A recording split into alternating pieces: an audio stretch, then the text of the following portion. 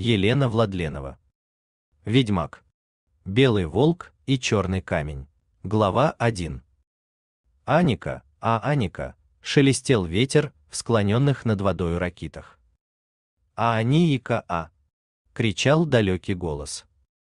Где-то в травяных зарослях, едва слышно, плакал ребенок. Голоса сплетались с тревожным шумом листвы, едва слышными горестными звуками. Темная вода несла на себе тусклое золото опадающей листвы и сломанные недавней бурей ветки. Черное мерцающее зеркало течения отражало неясный силуэт, простоволосую голову, тонкую девичью фигуру в пасконной рубахе. Бледное бескровное лицо. Пустые мертвые глаза. Женщина подалась вперед, водная гладь содрогнулась от всплеска, растеряла весь глянец неспешного течения. А они Ика, что же ты наделала? Сны наваливались внезапно, как ком с горы, давили на грудь, сжимали виски, но при этом дарили некий ключ предвидения. Они были важны и неоднозначны. Их приходилось разгадывать, ища подсказки в реальных событиях. Ценны были подробности, мелкие едва уловимые детали, такие, например, как тень, внезапно повисшая над водой, или чей-то едва уловимый вздох. Управлять своим сознанием в этом неясном мире было сложно, ведь он не провидец и не снаходец. Любое собственное действие могло исказить сведения по крохе, которого следует найти, знания, посылаемые высшими. Он, наверное, не должен был останавливаться на этой поляне, недалеко от тракта. Время было очень неудачным. День клонился к вечеру, и до постоялого двора оставалось недалеко. Только когда трудности людей интересовали богов, одарили тебя при рождении особыми способностями, так будь любезен, исполняй свое предназначение.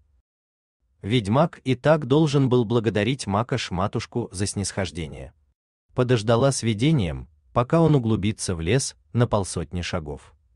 Дорога была пока пустынна. Зато тащился за ним на хвосте целый эскорт головорезов. Их он засек их еще полдня как, а того и непонятно было, от чего они до сих пор не напали. Вот и не в руку был этот внезапный сон. Тем неприятнее было вынырнуть из грезы под грубые голоса, раздавшиеся над ним. А мужик так, Ничего себе, зажиточный. Одежа на нем справная. Только раз такую и видел у ведьмаков, что к хозяину приезжали. У них, сказывают, и лошади особенные, заметил хрипатый. А сам дрыхнет без задних ног. Ничего не чует. Хухрик говорил, что он старый уже, слабый. Так и сдохнет. Може, разбудить? Засомневался Гундосый, перебивая напарника. Странный он какой-то. Никада такого не видал. Темный весь, как головешка, солнцем прокопченный. Давай тряханем. Не е, не нать. Мороки больше. Луччи сразу подрезать.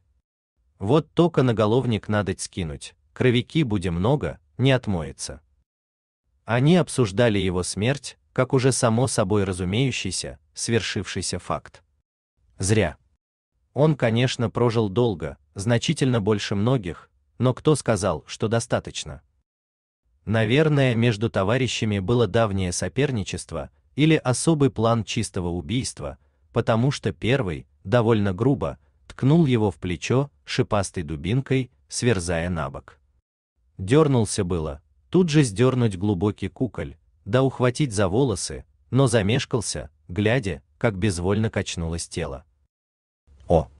Гля, он, кажись, уже сам окочурился. Удивился съезжающий в сторону по шершавому стволу сосны фигуре.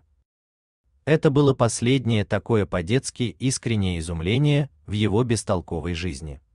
Путник внезапно ожил.